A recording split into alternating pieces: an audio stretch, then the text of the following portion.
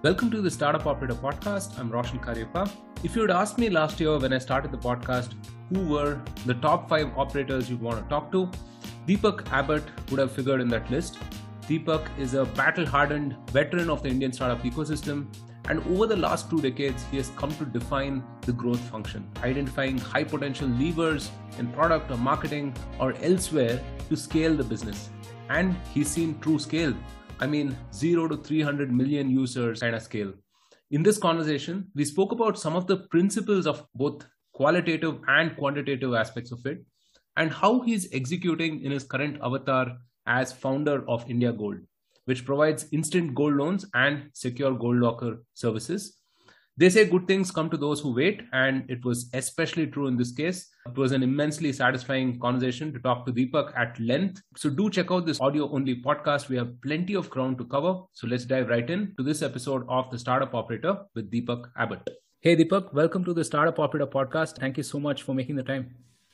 Thank you, Roshan. I think this is my second time here. I always love talking to you. Thank you for having me.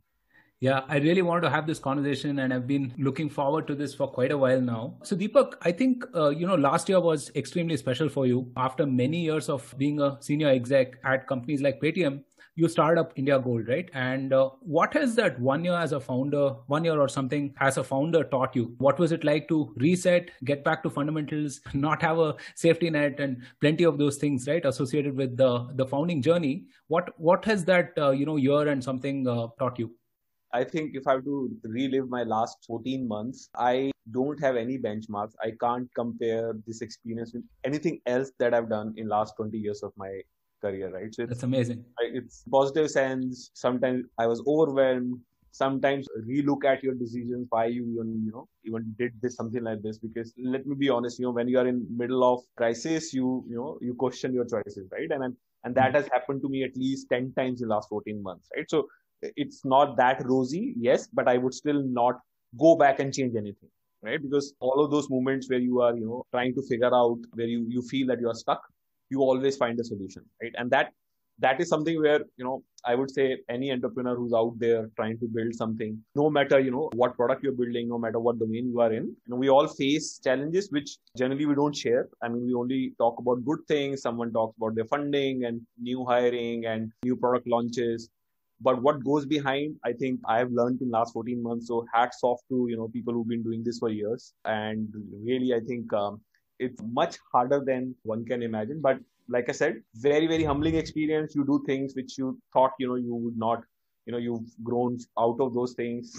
But i think it definitely adds a new dimension to my career. I, and like i said you know i will not change anything despite despite you know facing uh, some of the tough times in the last 14 months. A lot of happy moments a lot of excitement a lot of joys even small small joys. I think the beauty of you know beauty of building something is that uh, extremely small things start to give you pleasure right? And then right. you start realizing that how we missed celebrating those small wins earlier in life. Because here it's all about you know keeping yourself motivated by know, building bit by bit. So yeah, that's what my I think my summary of my last one year uh, has been, uh, and I'm looking forward to several years ahead building indiagold further. And I hope you know I continue to have same amount of excitement uh, and fun and learnings going forward yeah that's a great place to be at actually you know i mean uh, and you know i quite empathize with what you're saying. The highs are high and the lows are low right? But yeah i mean the amount of skin in the game that you have it can be both excitement and anxiety right? In equal parts almost. On various days it could be various things right? Yes. so yes and not in fact during the day you go through multiple emotions. Yeah it's never a straight line never a straight line. So you know, Deepak, let's uh, take a step back, right, and look at your career itself. I find it super interesting, right? You've operated at the intersection of product and marketing and what we call as growth, right? The quintessential idea of growth is, you know, you identify certain high leverage levers, uh, irrespective of what function it belongs in, whether it's sales or partnerships or product or marketing or whatever, and then, you know, optimize it, tweak it, and scale it basically to move the needle, right? Do whatever it takes essentially to move the needle. I wonder if you can talk about you know that evolution itself of your journey right how how did you stumble upon growth specifically and what has that uh, journey been like before i talk about how i started you know focusing more on the growth side I was not even sure till about I think 2007 8 that I can be a good product manager. So earlier I used to before I became a product manager, uh, designated product manager. I I didn't know that I was actually doing product management even before that, but I never called myself product manager. I was uh, you know doing web designing, then I started coding, I started developing websites, and then I became you know a designer, a UX designer. Then I became a UX consultant, consulting for literally, you know, MNCs like World Bank, GSK, GE, Telstra, traveling all around. Again, you know, those were literally tasks which I used to do were product management tasks. But since my designation was UX consultant, I thought product management is something different from what I'm doing. But when I got a chance to officially become a PM, uh, it was a gaming company and I I was designated as product manager. I said, okay, I'm doing exactly the same thing I used to do in my previous job. I try to understand the market need, try to define a target group of users who would potentially be using the product, understand their needs, understand their problems, and try and see if uh, the interface that we will design, uh, and, and that interface could be, you know, uh, uh, could be consumer focusing, business focusing, but the interface that we design will eventually, you know, uh, solve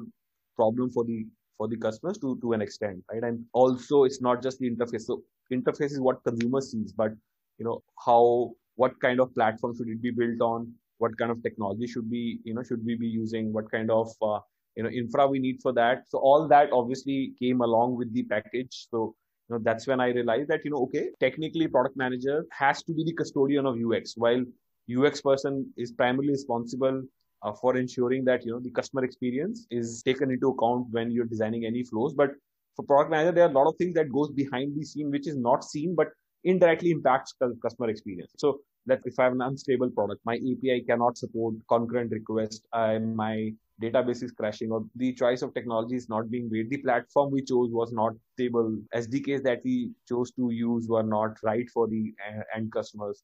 The events that we triggered were not you know yielding the right result. So all those are decisions which also hmm. impact customer experience. For example a ux person i mean i'm not saying that you know ux people don't do it but typical ux person uh, people i've interacted with will not you know go into specific details of you know how many tickets are being created customer tickets and uh, you know are we solving it on, on time or not? Because that also impacts customer experience right? Because right. a bad customer service is the worst form of customer experience. I mean you can build a beautiful interface but if you don't serve your customer well you can uh, literally lose them uh, despite building one of the best flows best uh, information architecture best navigation best content right? So so that also uh, like i said as a product manager you know you you start looking into uh, things which are not clearly the bucket of UX, right? So I mm. so then I you know transitioned to a product manager from UX, which was a natural transition, I would say. Since I had done you know coding earlier in my life, it was easier for me to bind all the three things together. And then uh, you know uh, when you and considering I was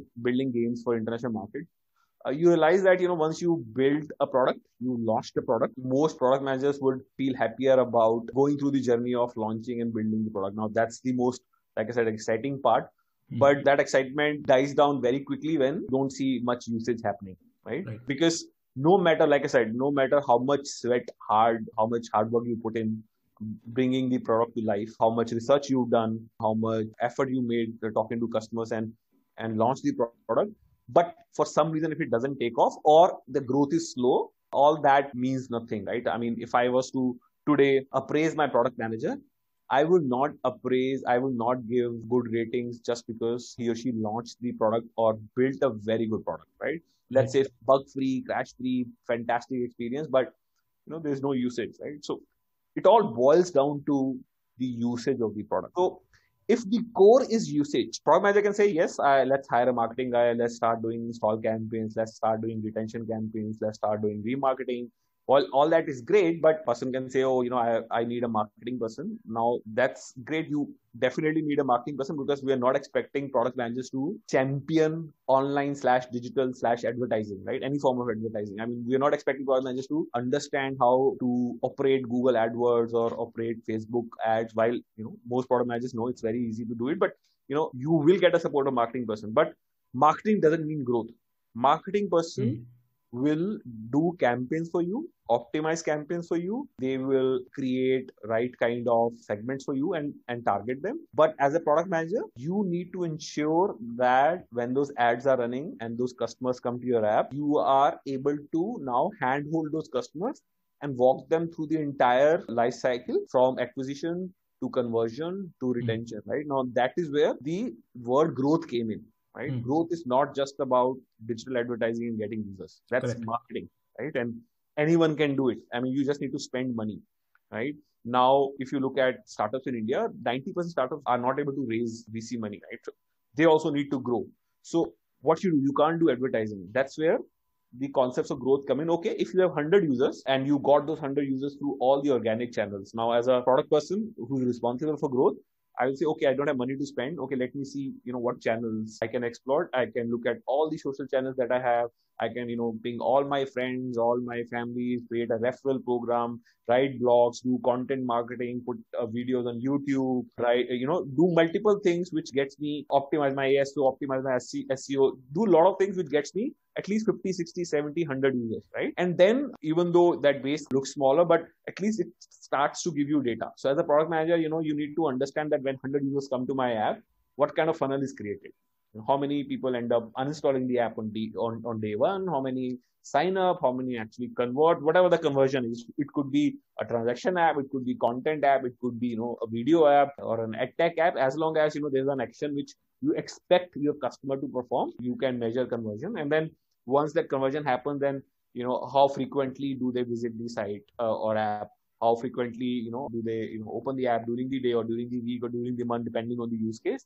And uh, do uh, what is the frequency of their repeat transaction if if they actually you know come back? So, so all these will give you a lot of insights and confidence to get another set of 500 users. Because now you know that right. okay these 100 users they delivered x value to me. Now that value you could be pre-revenue you could be you know uh, your those transactions could be non-monetary transaction but you know you at least have a notional value a user creates. 100 users have created let's say a notional value of x rupees for you now you can, even if you're bootstrapped, you know that, you know, okay, there's a clear model of money going in and the output, which has a notional value. Because when you go out and raise funds tomorrow, you can clearly show that, okay, you know, I've spent X amount on marketing and it has resulted in 5x, 10x, 20x of multiple in terms of the ROI that, that I'm getting, right? So the point I'm trying to make here is that uh, while digital advertising obviously speed things up, but growth is different from that. Growth starts once you started getting users in, and those users can come in through,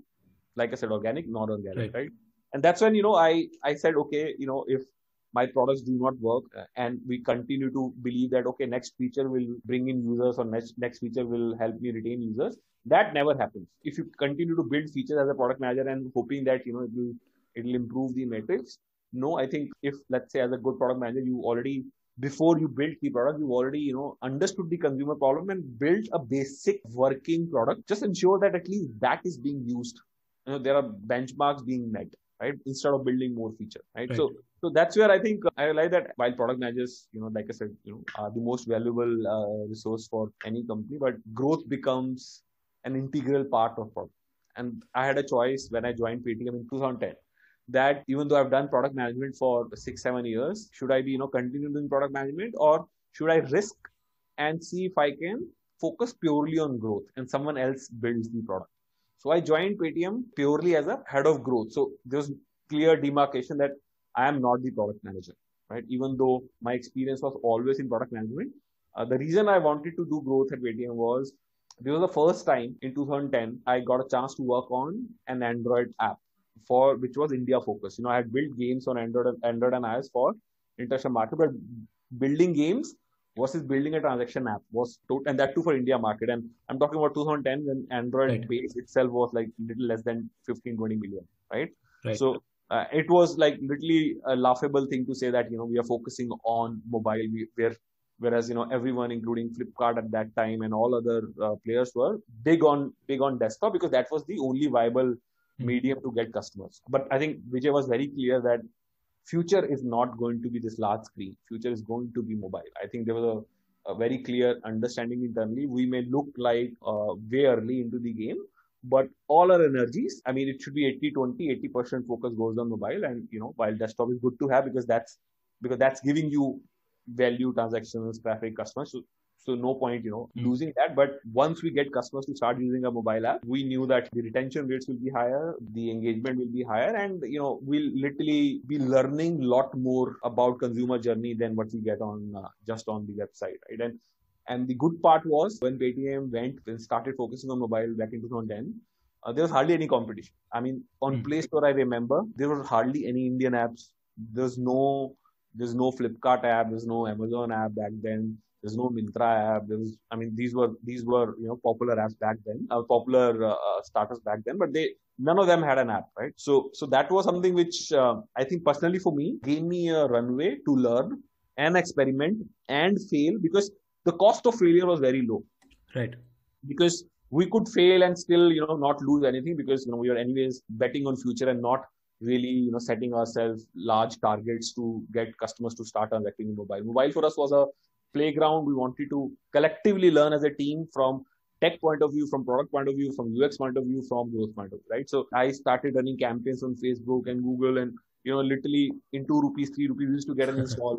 and because yeah literally the inventory was available. There was there's no good old days. Only international games were advertising in India. So and even users who were buying Android phones back then, like really, they were like alpha users. They were smart people who were early adopters of technology. So uh, when they were searching for apps, the only Indian app, the prominent one they could see was Paytm. So you know, for us, acquisition was much easier right? So that was relatively, I'm not saying, you know, it was mm. just launched the app and people started uh, installing it, but for us, that was less of a problem for us getting users in became less of an issue but idea was that how do we really convince them that when they put their credit card or debit card number on mobile it's easy it's it's safer it's faster because people were used to bigger screens these were same users who had desktops as well and they were now you know starting using smartphones right mm-hmm. we hardly had mobile only users back then right. so now if you're suddenly used to large screen and you know you asked to do certain things in smaller screen now there the user experience was really important that how you really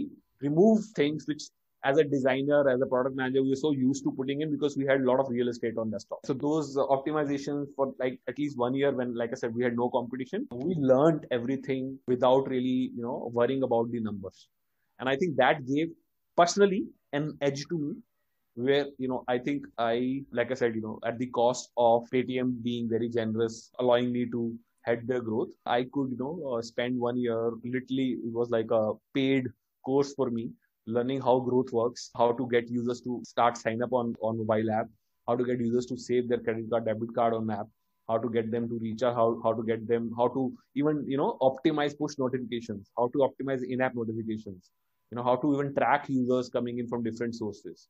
I had a head start learning all these technologies. You know, I remember back then it was you know, there were hardly any SDKs which we used to send targeted push notifications. We couldn't even track most of the events. Yeah. But all that, you know, we I learned. Like I said, I had no pressure. All thanks to Vijay and I think the entire early Paytm team, where I had a you know, open canvas and I could you know, build myself into someone who understood or someone who handled growth grounds up. So so that is where you know my transition from product to growth happened. Once I you know had a grip on how the customer lifecycle journey works. That's when, you know, my second stint at Paytm, I, you know, started doing product again because now I knew that, you know, growth is something that comes naturally to me and product is my core competency. So let's combine these two and ensure that, you know, even before we build the product, mm. let's think of all the growth hooks. Let's think of all the growth mechanics that will come later once we launch the product. So I think that is where I would say you know last 20 years have been spent and thankfully you know i get to do that all over again at indiagold i'm again like i said reusing some of the knowledge that i gained in last five six years. Uh, i'm learning a lot of new things. A lot of things have changed. You know i was less hands on for last three four years and i'm actually happy to be hands on back again. So yeah it's the full circle once again. I'm you know again trying to do things which i thought you know will uh, you know not do. Like for example uh, creating a campaign for myself, opening Google ads and, you know, selecting keywords to be, you know, keyword to be targeted. You know, those are things which looks exciting to me now again, right? So I'm happy about, I'm, I'm like a child, you know, getting access to my old toys uh, when I was a kid. and suddenly you know those toys looks really uh, you know good to me. So I'm I'm I'm in that stage right now. So yeah, pretty happy. No complaints. Uh, good part is now we are you know we are a 50 member team. We've hired specialists now, and there are people who are now uh, you know focused on you know, building it in a more structured way. I think first right. eight nine months were like we're all building the POC. We're all trying to figure out what works, what doesn't work. Thankfully, now we have some structure in mind. We know, you know, uh, what are our key levers, what are our key metrics, what is our you know, North Star metrics. So we have those you know, broad KPIs in mind now. So thankfully, our product is not taking shape, keeping those KPIs in mind. So you know, the features that we need to build, the features that we need to delete, the user journey that we need to build, it's all built keeping those growth KPIs in mind. Right.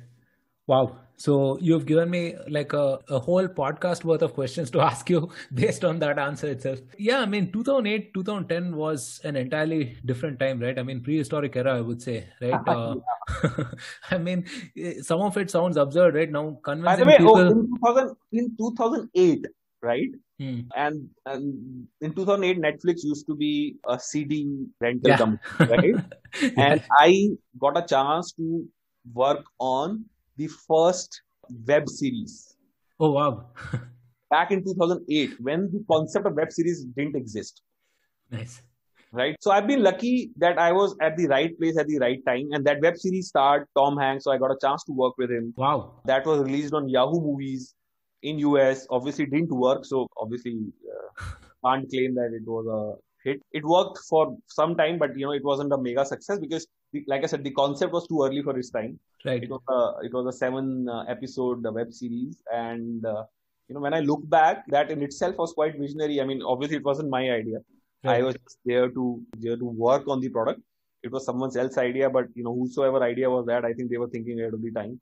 And now you know if if you look back, I think web series looks like oh yeah in 2008 you know even if you had told Netflix about it, uh, and I remember you know when we were discussing selling the rights uh, right. We only had YouTube and uh, Yahoo Movies in contention, right? I mean, Netflix was not even like on you know in, anywhere in contention. I mean, it was it was there. It used to had it used to have movies, but we never realized that you know Netflix could do something like web series.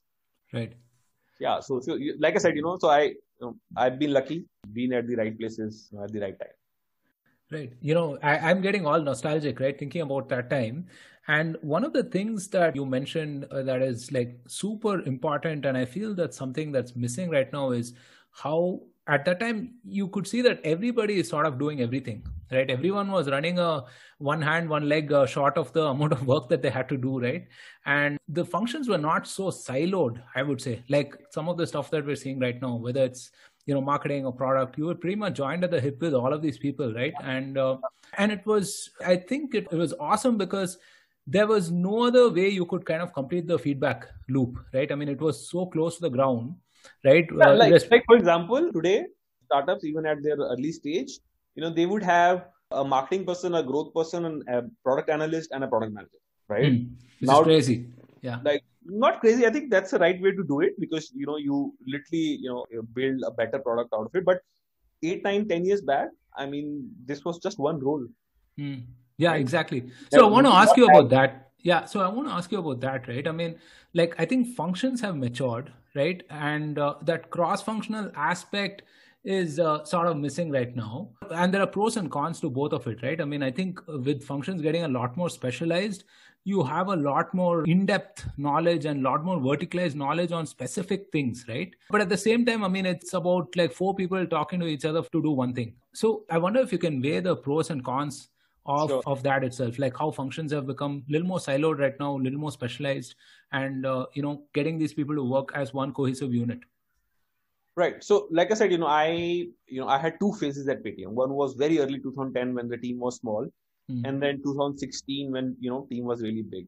So i worked with people who were specializing in certain skill sets and then i worked with journalists who would do a lot of things right? Now in terms of pros and cons i think people right now who are doing who have verticalized knowledge let's say someone is a business analyst someone you know understands analytics better i think they will help you identify things which don't look obvious which are hidden but could impact the product journey dramatically. In data which, you know, because of, you know, product manager doing multiple things, does not you know uh, come across as obvious. A good analyst uh, someone who you know has a you know deep understanding of how various platform works will be able to i think uh, bring it up bring it up uh, easily. So similarly as a growth person you know if it is a shared role let's say product manager doing growth they will do 10 things which which are good to have which are obvious that you have to do it. Like those are no brainer that as a growth person you hmm. need to do those 10 things. You need to build a better funnel. You need to build a better referral program. You need to you know take care of drop offs but a dedicated growth person who has one or two kpis as their kras you know i think they can do a lot better job understand various segments. They can build cohorts where they can instead of keeping one single experience for for everyone you know they can customize the experience for the customers they can uh, personalize help in help product managers in personalizing the uh, consumer journeys.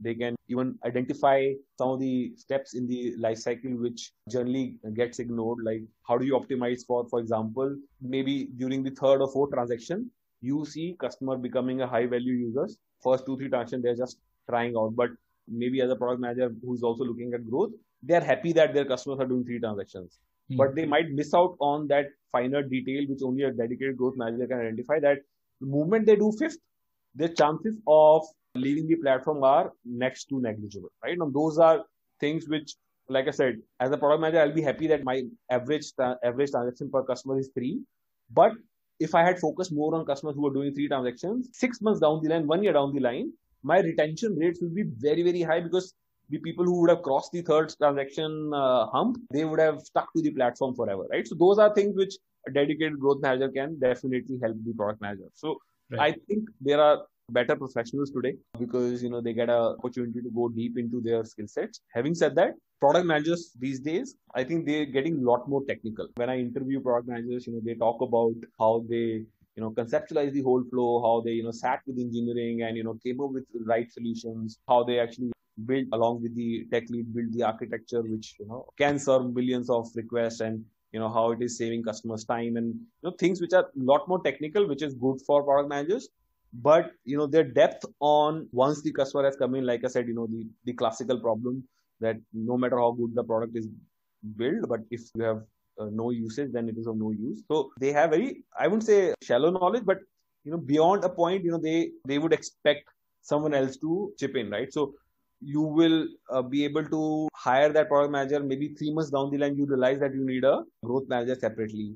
Maybe six months down the line, you need a dedicated business analyst, which I think earlier those periods were longer. Like a product manager who had an exposure across, not just exposure, but hands on experience across two or three functions.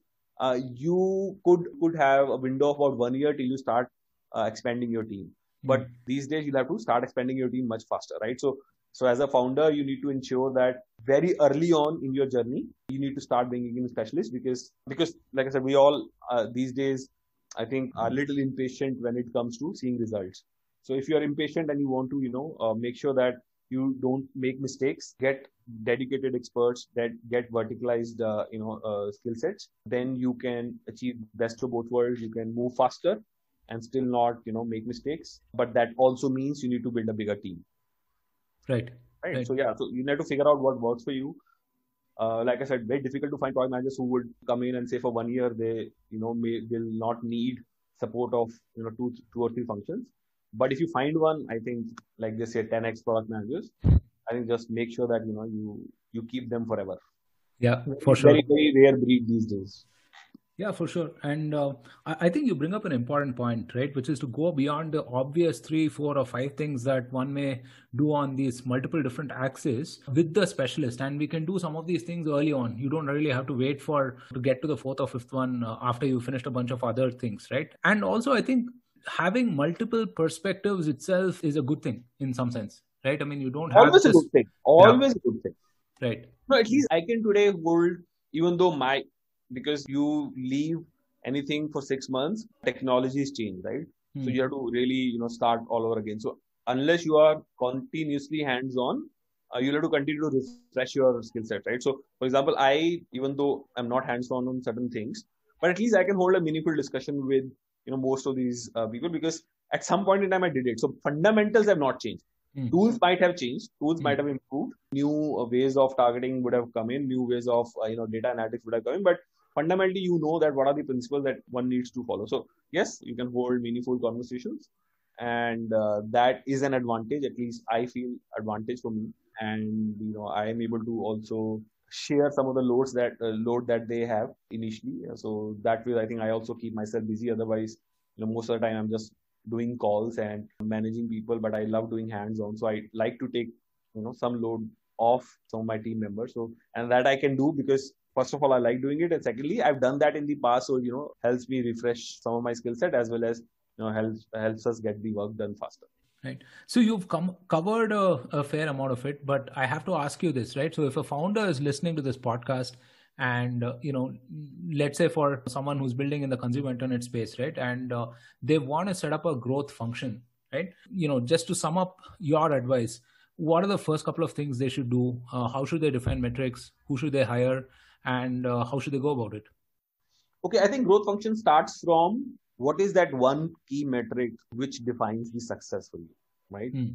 and it's by the way and that key metric can change every three months right. but at least you know that okay let's say i've launched a product uh, and for first three months my key metric no matter how superficial it is but to get app installs like mm. blindly only objective is to get let's say app installs right mm. maybe three months down the line my key metric is to get number of registered users six months down the line, my key objective is to drive transactions. Or maybe the day you launch the app, your key objective is to drive transactions. First of all, you need to be as a as a founder, you know, you need to be clear that what is it that you want your product to achieve, right? For for next one quarter or two quarters, and then work backwards. Let's say you zeroed in on that. Okay, installs are useless for me. Uh, maybe I'm a website. I don't even have an app. I don't care about visitors.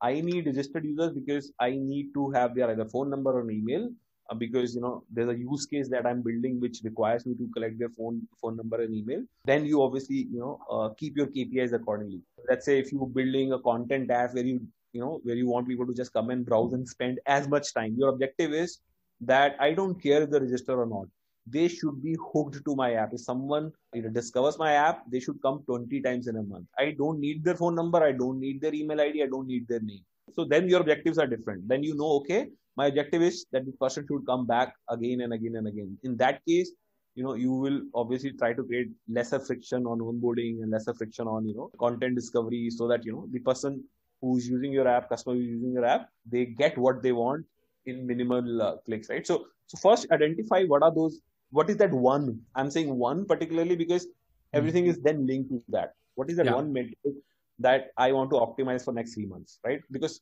early stage you only optimize for next three months right? You can't optimize something one year down for, for something that will come one year down the line. You because your app will improve your your product will improve your technology will improve your understanding of the market will improve your data will come in customers will tell you a lot more. So always keep three month two month targets and then just make sure that you know everything from your product manager if you are not the product manager yourself from your uh, you know te- technology head or head of technology whosoever is the person who is responsible for coding it to your marketing slash sales slash business whosoever you know are the key people they should all know that this is what we're going to achieve for next three months.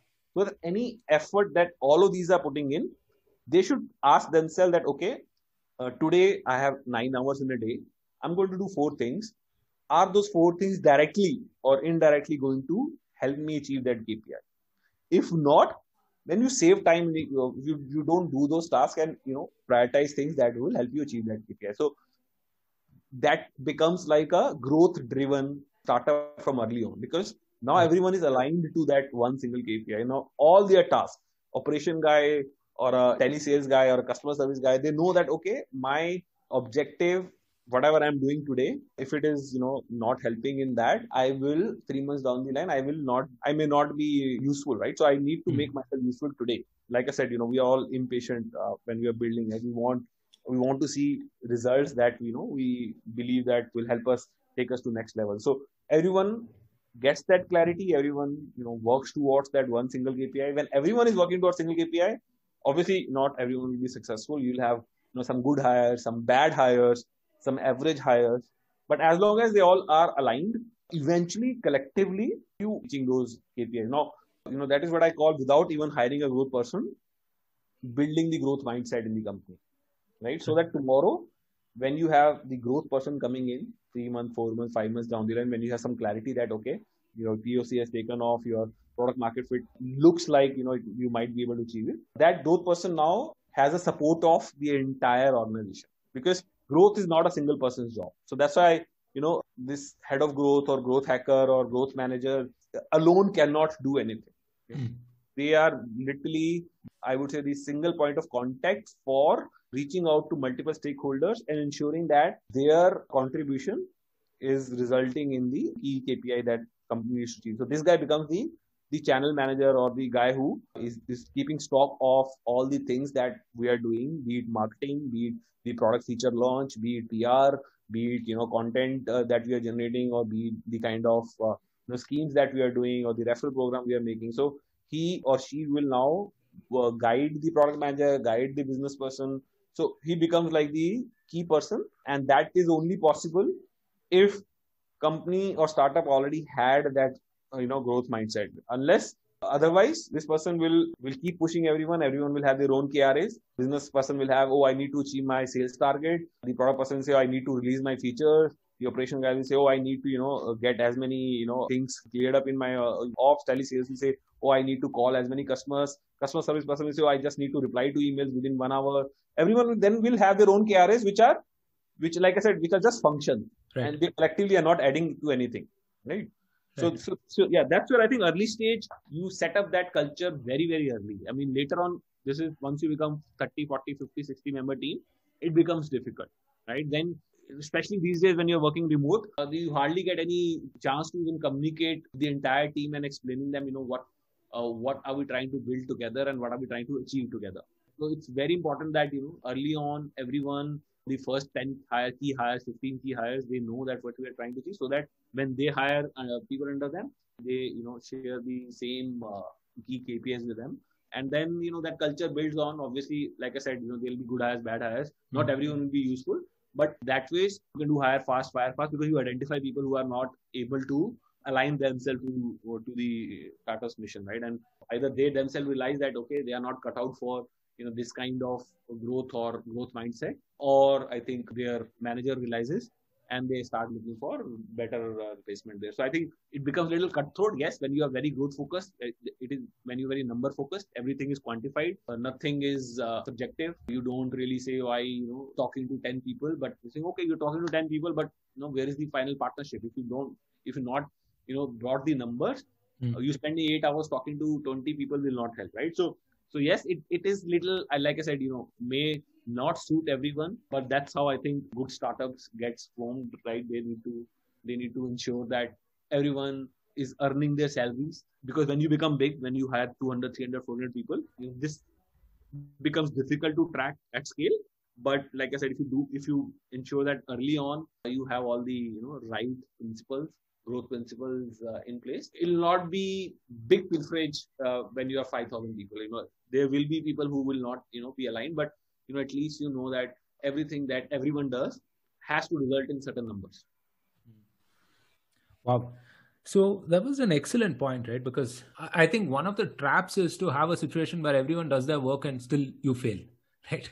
I mean that's uh... so that's like i said now everyone is doing their work.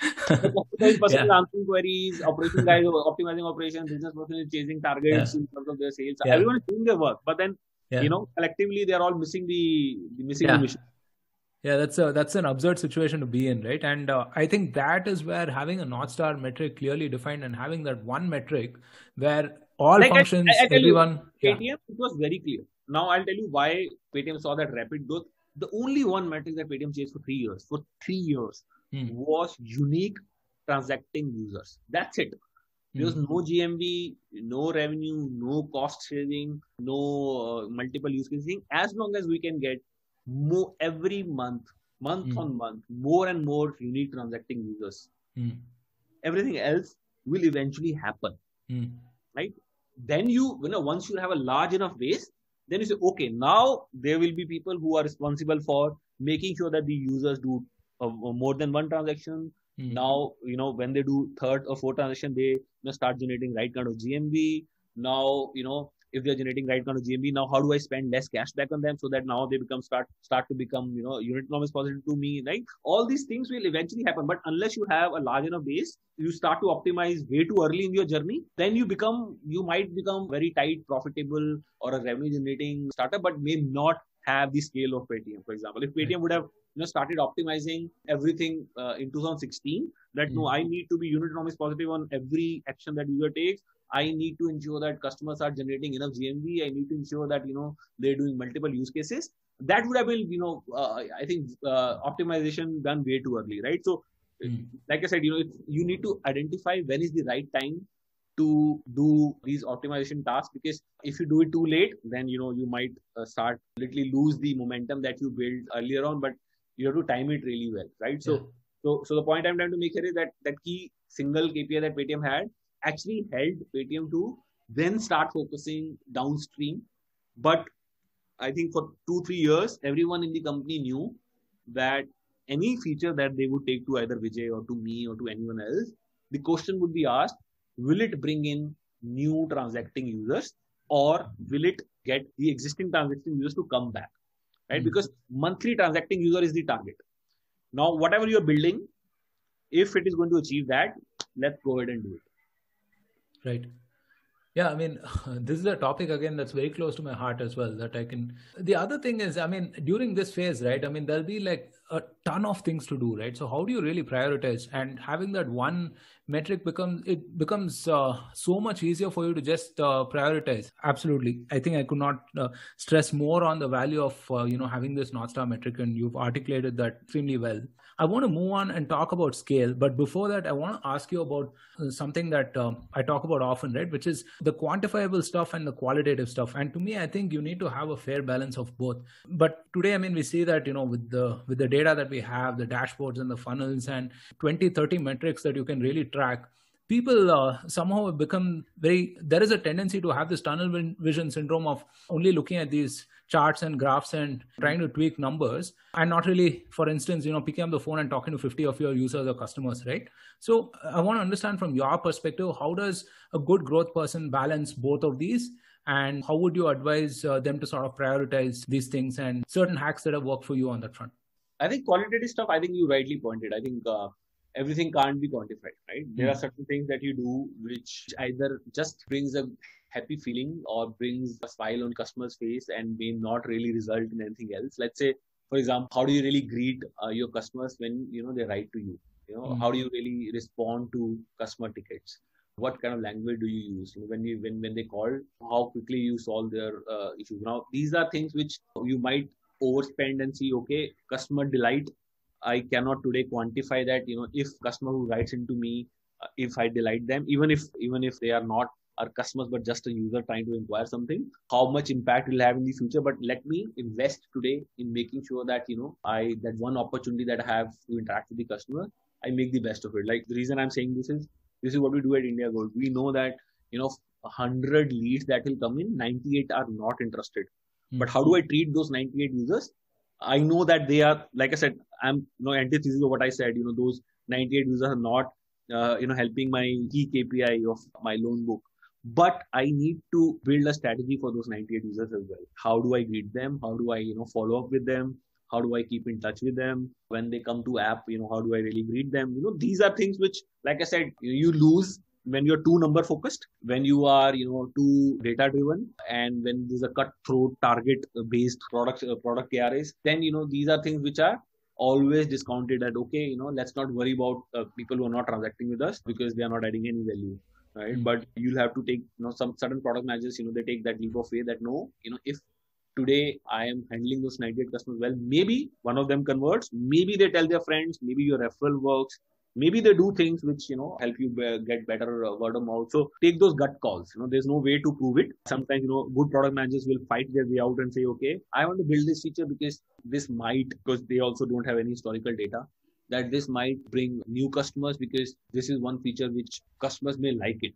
But there's no way to prove it that because historically you know you never done something like this. There's no other example that you see in the market but you came up with the idea because you know you felt that you know some of the customers who left the review they left on play store the negative reviews that they left on play store or, or the uh, interaction that they had with customer service you feel that you know this could have been solved by building uh, x feature. Like i said you know you in a cutthroat way you will not target those users but a good product manager will say no i will devote 10 15% of my time building features which are not data backed but my gut says or my research says which could again be like i said research could be very superficial but this product manager takes the responsibility of ensuring that you know the key KPIs are still not overlooked, but we you know do not stop building things which we are passionate about, right? So that's how we discover new products. That's how you know innovations happen. That's how pivots happen. Otherwise, uh, if you if you stop every if you do everything uh, database, I think companies will either be very successful or they will die. They they will never pivot. Pivot happens or new innovative products come from existing companies because they keep a window open of things that may not make sense on paper, but eventually, you know, deliver results. And at Paytm, we had several such examples. I, I won't name it, but right. several such examples of passion passion projects, which became like big money spinner. Nice, right? Okay, so speaking of uh, Paytm, let's talk about scale, right? The other unique aspect of your experience is that you have seen true scale right? You've seen the zero to one to 10 to 100. And I think perhaps, I mean, Paytm was at uh, uh, last I checked around 300 million plus users, right? So, you know, a lot of things change at each of these stages. But at true scale, what are some of the nuances that you notice in terms of acquisition or retention? And how do these things change? I mean, if you could just give us a very broad idea of like what re- truly changes at scale. I think at scale, attention to detailing goes away. That's the sad part. The good part is that you can still make few mistakes and you will not lose customers overnight because the large product or the large base allows you that flexibility. But larger the product, larger the base, build something, you start seeing results quickly because you know, there are a lot of millions of users, uh, like in Paytm's case. Any feature you launch will quickly be adopted by lakhs and lakhs of users. Mm-hmm. Now, as a product manager, you know, I will feel happy about it.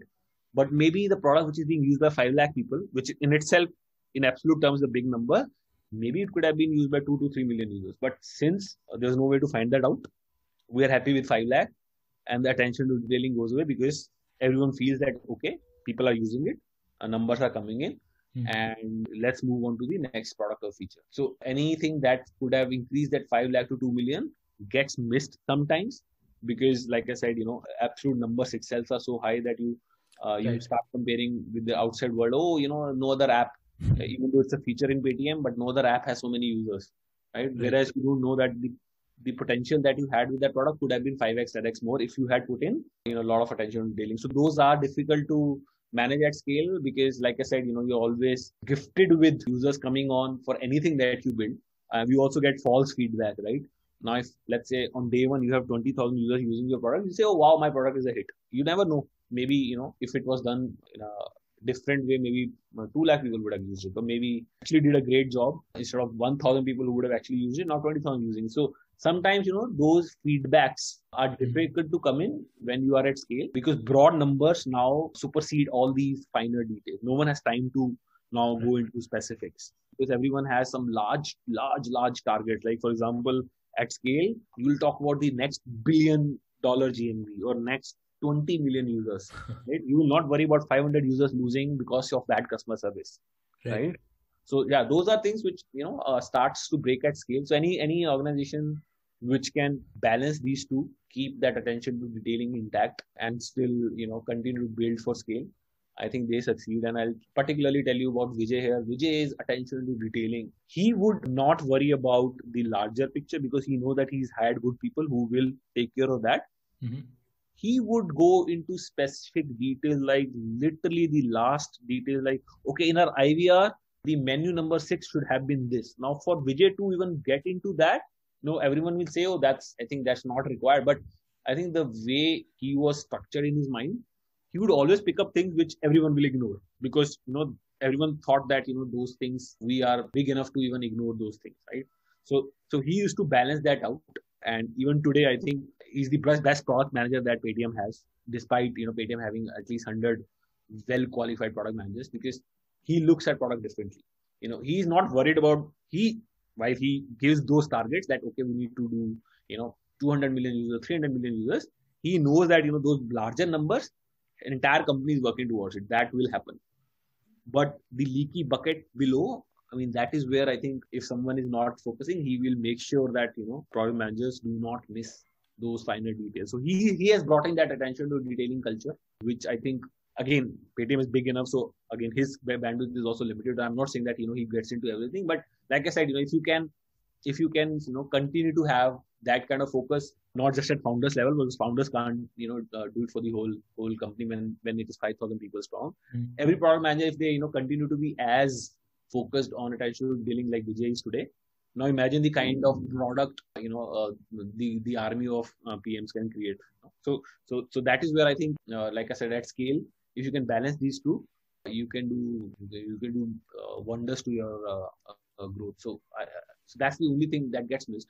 Rest everything, I think, at scale, like I said, feedback loop to product managers is something that is not com- not it's very superficial, right? Mm-hmm. Uh, so I think a good product managers when they've built a smaller product and then grown with it, I think they learn a lot more versus a product manager who simply assigned a product which is already working, which is already big, and you know they don't understand that you know what it takes to get from 20 users for one first day to 27 users at the end of the month right so mm. yeah so those are things which you know in bigger bigger startups it doesn't really come up and good product managers again would stand out if they if they start focusing there and that was my filter by the way that despite all the load despite all the big numbers that we all need to generate who's worried about those smaller leaks that are happening right yeah, and you catch that uh, only through some random sampling, right? Like what? Yeah, yeah, yeah. like, because I think okay, everything boils down to your personal passion and proactiveness. Right. You know, right. proactive people they compensate for you know, some of the skill set that they may not have. As long as you are proactive about things, that okay, I need to find out why this happened.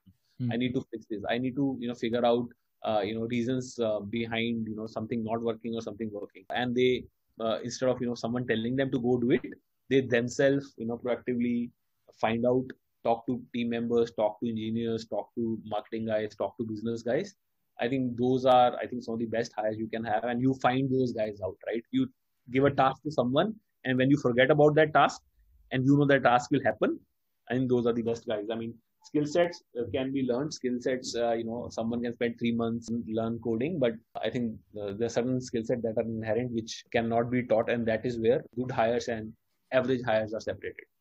Right. Absolutely. So okay let's talk about indiagold right? And to me it seems like one of those ideas that is so obvious on hindsight right? Yes of course uh, people in india love gold right? And most of that wealth is just lying there not earning any interest uh, not really working.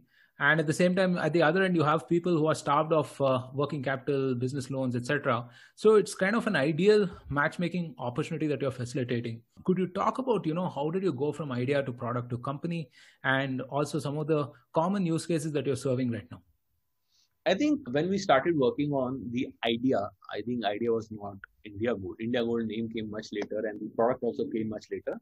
Mm-hmm. But we looked at the landscape, right? I mean, when me and Nitin were uh, looking at multiple things, I think the common theme was that we need to build something around a lending space, right? Because mm-hmm. uh, we believe that you know while there are hundreds of fintechs trying to do lending, there are NBFCs, there are banks which uh, which just survive on lending. Like banks' main revenue is from there. NBFCs, you know, large NBFCs are there. But why is it that you know all the banks put together, all the thousands of NBFCs put together, all the fintech put together, India is still highly credit underserved. Right? Why that out of 650 million working age population, only about 150 million people are eligible for mainstream uh, credit. Why people who do not have good credit score, people who do not have regular income, people who do not have you know, businesses which are you know in good shape, uh, or several other factors. Why are how do we solve credit needs for them? Because everyone needs credit. It's not that only 150 million people need credit, right? I mean, yeah. the, the the economy can only grow when you know someone who right now is struggling to build uh, a business but you know for last three months they've not been able to generate enough working capital so their business is you know literally shut but they know that if they can get some credit they can buy raw material and start working but like a catch 22 or a loop where they get stuck in, they go to bank or an NBFC or a fintech who says, "Oh, sorry, you don't have any business. How can I give you credit?" Right now, that person you know needs credit to start the business, right? So there are several millions of such users in India, right? So okay, you know, if all these banks and NBFCs and formal financial institutions exist, then why do we have a large unorganized lending market? Right? India literally has 3x bigger credit market than what banks and nbfcs can serve. You know these your you know your money your roadside money lenders your in villages you have those you know uh, loan uh, you know those shopkeepers giving small credit payday loans and those chinese app that came in that gave you know loan worth 3 4 billion dollars. Why do people go to them? Right. because you know they don't get access to the organized credit from uh, formal institutions. So yeah that's where the i think the the problem statement was that okay can we can we build a product which can at least if not all 400 million people who who want credit at least some of them you know start to get credit. And that's where i think uh, we change our focus from unsecured because in unsecured we realize that you know while if there are 100 startups already focusing on it 20 30 will build something eventually where you know that 150 million will become 160 170 175 so collectively they'll all expand mm-hmm. the universe. Mm-hmm uh, why do I need to be another 101st startup there and build something which, you know, uh, slowly expand this? Can I, you know, get into this market and take a different route? That's where we thought, okay, asset backed lending is something that we should look at. And we started looking at what assets that Indians own. So, three assets that stood out. Number one is property. I think most of the Indian uh, assets are locked in the houses that they bought. Second one, of course, we all know is gold. Then there's uh, insurance, right? Insurance, almost 250 million insurance policies, endowment policies exist. I'm calling it an asset because many people don't know that they can take loan against it, right? right. So thought, okay, you know, there are these three assets that Indians own. Property obviously uh, may look like a secured loan, but we realize that it's it's a tough one. It's not. It's because it's not liquid, right? You can't liquidate property overnight and recover money. So that's where we thought, okay, let's you know, let's look at assets that are liquid that are movable. And I think the most obvious answer was yes, gold. India has tons of gold. But then you'll see, oh, but then India has large, large, large public sector companies like Muthoot Manappuram. Uh, one is $6 billion, another is $4 billion. They have a book size of 50,000 crore. Collectively, all the NBFCs have book size of about 2, 2 to 3 lakh crore. Banks have a book size of 5 to 6 lakh crore. So if there's already 7 to 8 lakh crore worth of you know gold loans being given. You know isn't that already being covered? You know that's when you start you know getting into start peeling the layers and realize no india is such a massive country 280 million households. Out of 280 million households almost 240 million households have some form of gold. Right. Now and so okay now this is also not good enough to even get into this market. Let's see if we can bifurcate further. So we said okay first of all let's remove the below the poverty line household, which is roughly about 60 to 70 million. Right. While you'll be surprised, by the way, below the poverty line, while we say they are below the poverty line, but they they do have gold. But let's say you know that gold is not enough for us to monetize. So let's say the gold amount is 2,000, 3,000. They have a small chain. But okay, let's let's exclude that, uh, and then also let's exclude people that we see around us people who live in a society, people who live in a vicinity, people like you, people like me, that's the top 2% of India, right? By the way, we all belong in top 0.5%. We don't realize that. I'm saying let's even take it further and say, okay, let's move top 2%. So if you remove top 2%, which is people like you, people you see around you, bottom 40%, you still left with 150 to 170 million households hmm. who have almost 600 billion dollar worth of gold lying in their homes and this is well distributed. So I've removed, you know, rich people like you, Ambani's, Adani's, mm-hmm. and anyone who's got 100 grams of gold or 1 kg of gold. I'm removing that. You know, I'm not even catering to that. I said because they will have they will have access to alternate credit. They will have access to personal loans, business loans, all forms of loans. They'll have credit cards. They don't need gold loans. Below the poverty line, you know, let's not let's not target them. How about these 150, 170 million households? How many of them have actually taken gold loan? Then we realize just less than 20% have actually ever in their life taken gold loan. Mm-hmm. So the 80% of households who have gold, enough gold, they are not credit eligible for most of the mainstream NBFCs and banks. why are they going to money shark, um, uh, loan shark? Why are they going to money lenders, unorganized ones? Because this is the, like I said, the middle of India, which you know doesn't have regular income. They don't file any income tax. They don't have any ITR to show, and they are self-employed, non-professional. Because that is what India is. India is not people working for startup. That's mm-hmm. just that's just the just the kind of views we meet, but that's not India, right? So we said, okay, now that is a sizable market. 140 million households who've never been even touched by Muthoot, Manappuram and banks who are giving gold loans. And I said, okay, what, what is the reason for that? Multiple reasons came out. Distribution is one. Stigma came out to be the biggest of the reasons. Mm. And several other logistical operational issues that came in. Said, okay, let's see if, as a startup, if I can relook at the product that exists from hundreds of years. Companies like Muthoot Manappuram that exist from, you know, 40, 50, 60, 70 years doing the same business right. banks like SBI and HDFC and ICICI doing this business forever and doing like you know they have a book size of two to three four billion dollar right can i relook at this whole product and see if i can build something which is transparent which is simpler which is customer friendly which solves the uh, operational issues security issues trust issues stigma issues. All these issues if i can you know some of these issues i can solve. Obviously I, you know i'm not i'm not claiming that we can solve all the issues. If some of these issues i can i can solve maybe there's a market. Maybe we can fundamentally bring in new set of users to this credit market. And that was the that was the day when we said okay you know we see the market very clearly and we need to operate here because for us it's a blue ocean. It may look like a red ocean from outside that all big companies doing it but for us you know we identified our blue ocean and good that we did that. I think we are very happily placed right now. Slowly we are trying to you know build products which are bringing in uh, users which who, who, who had never experienced gold loans. Their first time you know experiencing it. Some of them are actually liking it. We already have we are in i think ninth 10th month of our operation. We already have 50% of our users repeating their loan with us right? So we see that you know users you know we brought into the circle. They are first time gold loan users. So we're happy about you know those metrics versus saying okay my loan book is x crores right? Well that will happen you know once once we hit scale. Uh, you know we'll worry about aum we'll worry about yield we'll worry about you know all those uh, bottom line and top line numbers. But right now i'm happy about the kind of users that we are able to bring in to this fold right? So that's where i think our mission started and, and like i said we are in the right direction and hopefully next couple of years you know we'll we'll be able to help few millions of these users to avail credit which is reasonable which is uh, like i said easy to get faster and very very transparent.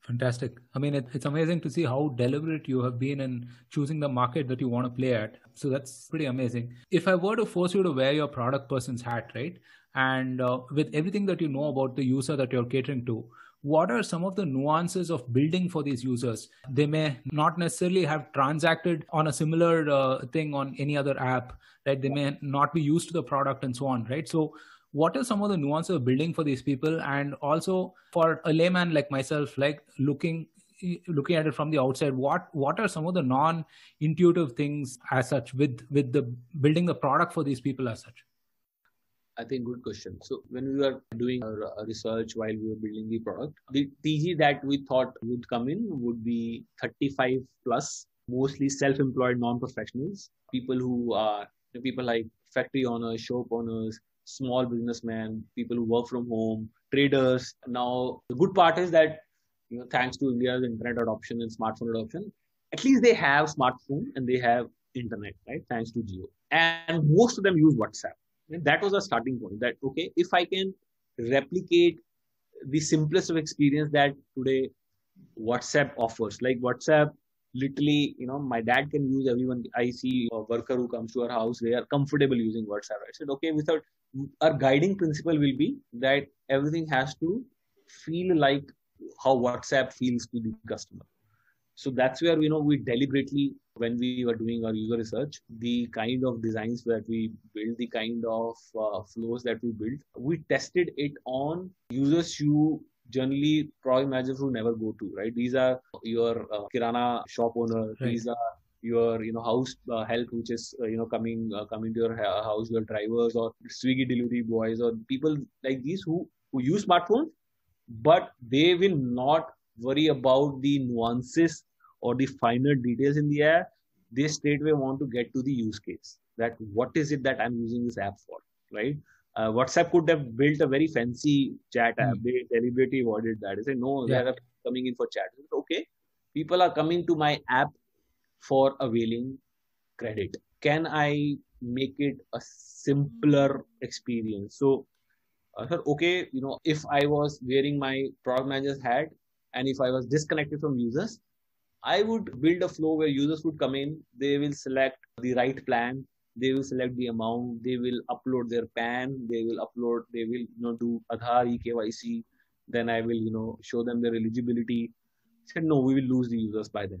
While that is like a ideal flow which good tech and product platform should have, right. but I need to understand my customers. They are right now in not uh, you know that frame of mind where they will go through this pain. Uh, under, please understand for an unsecured loan, they go through this pain because in unsecured the start the company has to trust the customer. Whereas in secured where they, someone is taking gold loan the customer has to trust us.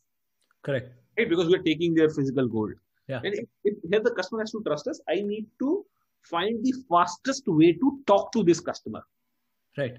Right? That's why i said okay it may look unsexy but can i quickly give one option to the customer when they come to my website because uh, most of our traffic actually is through mweb even though we have we have million app installs but mweb uh, surprisingly you know again like i said out of consumer research we realize that you know without mweb we can't go to the market. Well app is good to have it's a good showcase but mweb will bring in large traffic and the only cta on our mweb is give a missed call to this number or send a whatsapp to this number send a whatsapp to this number right? Uh, and you click whatsapp opens and then you start interacting right, right. now Someone say, oh, customer has gone out of your website, they're not using your app. No, I am very focused. I'm trying to solve this customer's credit need right now. Hmm. Once I have an opportunity to communicate with the customer, now eventually customer will use my app because they have to, they will see, track their gold jewelry using the app. They will repay using the app. They will renew using the app and eventually will slowly graduate them while they can pay from WhatsApp their EMI, the link will be sent, but gradually will educate them. Okay, by the way, you know your loan is expiring, can you can renew it, or you can you know you, uh, there's a cheaper rate of interest, you can readjust your loan. So we will encourage them slowly to use our app because you have to understand when we're giving credit to the customer, I'm building a six months to one year relationship. It's Correct. not one time relationship where I want desperately want them to use my app because I know if I convert this customer, they will come to my app. So, you know, that we resisted the urge to have that wonderful, you know, app only flow where, you know, we request every information digitally and then give eligibility to the customer. Like I said, if I was building it for you and you were the gold loan customer, I would build a product differently. Mm-hmm. You know, I would let you to do a lot of stuff yourself, and then at the last step, I come in. Right? That's where I think product manager coming in from pure digital product would resist building something like this. Oh, you know, you are literally you're collecting the phone numbers, right? You're right. not not doing anything. But like I said, you know, we have to understand why are we doing this. I am not in the business of app installs. You know, I my I will not be valued when I say I have million installs. I'll be valued when I say I have five thousand customers who I have converted, who taken loan from me, right? So, like I said, that key metric was very clear. Hmm. Right? Do you want app installs? Do you want customers who take credit from you? So, if you want customers who want who take credit from you, you want the fastest way to reach to them. Right. So that's just give you one example, but there are several other things that went into the design where uh, you had to specifically keep the TG in mind. I was not my TG is not cred like TG, right? Cred would not build a product like indiagold because their TG will say, oh, what a crappy product it is. right? Because they are exposed to multiple of uh, uh, multiple apps which are you know, good looking, which serves you know a lot of uh, features, and you know they actually help them uh, improve their overall uh, journey. But in our case, like I said, you know, single use case uh, TG, which was not really interested in any fancy stuff that I'm doing. They were interested in the end goal, which is money in their bank account. Right. Yeah, and I was just looking at your website, and it's it's so interesting that you've used uh, Rakesh Bedi, Hiten Tejwani, and the rest of them. Again, right? like I said, you, know, you, have to keep your TG in mind. No? Exactly. Uh, exactly. Like I said, uh, it may look unsexy to like people like you, me, including myself, maybe my my family, but you know you have to understand who are who are you talking to exactly yeah No, that's amazing. Any other ways that you're building trust and credibility? Because again, you know, what you rightly mentioned is that you're getting people to part with their possessions, right? Their assets. And uh, gold has a very emotional bond with the people also, right? I mean, uh, it's not just viewed as, let's say, like a mutual fund or like some yeah. kind of cash or, or whatever, right? It's not just an asset. It's a, uh, it's got a very social, emotional sort of a connotation to it, right? And uh, I mean, if you see, look at Tamil Nadu, for example, right? I mean, it's something like 30% of the asset allocation is in gold, apparently, right? So, yeah, South is big on that. Big, big really big. Kerala right? has some really astounding numbers. Yeah, yeah. So, you know, any other ways that trying to build trust and credibility, not just with the product and the marketing messaging and whatnot, but various other aspects, right? I mean, various other touch points for the customer itself. Anything that you could share on that front? No, little. See, trust first of all is not built overnight, right? And trust requires you to continuously doing good things over and over again. So, for example, even simple thing like if you take loan from us, hmm. zero processing fee, zero renewal fee, zero foreclosure fee, no hidden charges. Like literally no TNC apply, right? When you hmm. give a loan and say no TNC apply, what are we saying is what you will actually pay. Hmm. There's no hidden term, right? Now, once they complete the term with us and they know that, okay, what we promised and we actually delivered. Now, this person, first of all, will come back again, and we already seen 50% of them coming back again the word of mouth will spread. So I think these are things which you build into your product. Yeah? The way mm-hmm. your customer service talks to the customer, way you resolve your uh, resolve the queries. The simple thing like we give two days grace period when they delay the payment. We sometimes even give three days, four days extended. We don't we don't have a hard coded date. Okay, you're you not paid, so you know your loan is in default. Mm-hmm. You know, we understand that customers may have issues, so we actually allow customers to even you know readjust their loan when they are not able to pay after three four five six days right? So these are things which you build so that customer knows that okay this company is not here to take my gold away. They're mm-hmm. actually you know giving me credit. They're keeping my gold safe. I am able to track my gold seamlessly in the app. I know my gold is safe with them. But they are helping me in my need when I need it, you know, not here to put penalties on me or put charges on me. So that is, like I said, uh, slow trust building measures, which comes from the product. And when I say product, this product is the financial product that we created, like my mm-hmm. scheme. So you build a transparent product, you build a good customer service, you empathize with the user, you slowly walk them, like I said, you know, uh, handhold them and graduate them to start becoming a pro user from a very basic user you know all this over a period of time uh, helps builds the trust. Like i said we're just seven eight months. I wouldn't say that we are a trusted brand. But the reason why we were able to get customers because we gave personal care to all first 500 600 customers who actually helped us get another 50 60 customers so you know this chain is slowly increasing and hopefully you know we continue to not just retain these users but these users will eventually become our brand ambassadors.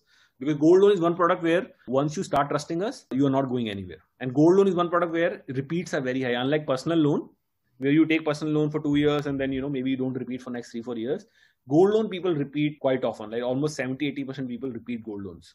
And they would only come to you if you've you know uh, not broken their trust. So like i said you know we understand that we need to do a lot of small small things and not really tv ad will not solve it one print ad will not solve it but if i you know show them like i said even simple things like you know showing friendly faces you know showing the transparency that you know the insurance from new india insurance icici insurance where the gold is being stored where you know which bank is giving them loan all that as long as it is transparent, I think over a period of time, trust will get built. We are not worried about that because, like I said, we are being honest with our product approach and it is getting translated into the end end offer or a product that we push to the customer. Right. Yeah, one of the things that I'm really most optimistic for is that people like you are building in this space, right? Because if you look at how conventional banks or you know lenders typically treat uh, customers, it leaves a lot to be desired, right? No, because and, demand and supply, right? Yeah. Customer needs demand for credit is so high, right? That customer will you know not worry about getting bad experience or you know getting fleeced or getting you know or paying extra because they desperately need credit so mm. and all this gets exploited at every level mm. we're exploiting the customer need so that's why i think the, the demand supply is so skewed that no one bothers about the experience that they need to give customers Right. So, Deepak, this has been a fascinating conversation, right? We've overshot our time by about half hour. Thank you so much again for being so gracious. Love interacting with you, right?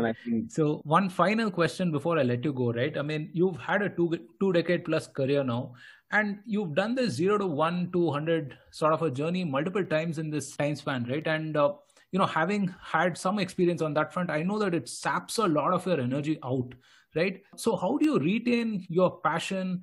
To learn new things, to execute, to go full throttle and like be able to put that same amount of effort and care into everything that you do? I think one thing that has worked for me, I have always changed my career trajectory every four years. You know, I like I said, I was web designer, then became a web developer, then became a product manager, then became, you know, a growth person, then, you know, started looking into business. So I have never, you know, literally done the same thing for more than three, four years. So that forces me to, you know, learn new things. Like gold loan for me, for like, absolute, I had absolutely zero. Knowledge. I didn't even know this market exists when I was at Paytm, right? This was not even crossing my mind ever, right? So I had to literally, you know, uh, learn basic things and the reason why i do newer things because it helps me learn and i would rather look like a fresher whenever i start because you know that ways i keep myself excited. I know that you know there's a lot i don't know today. If i continue to do let's say product for 20 years i'll be like a boring old uncle who will be you know giving instructions to other product managers and i will have no zeal or no excitement to be called a product manager. Right all right. On that uh, note, I think we should end this podcast. Thank you so much again, Deepak. Really appreciate your time. Thank you, Roshan, for having me.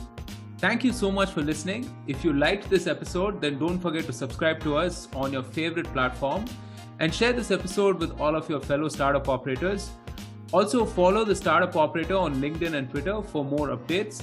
Stay safe, take care, and see you soon on a brand new episode of the Startup Operator.